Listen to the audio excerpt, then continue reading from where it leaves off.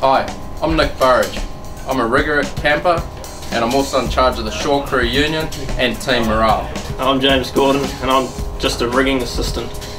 We look after the ropes on the boat, the mast on the boat and all the deck gear, blocks, pulleys, etc.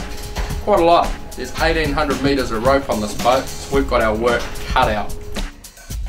Well, this particular corner is actually my favourite part of the camper base and many people's favourite part of camper base.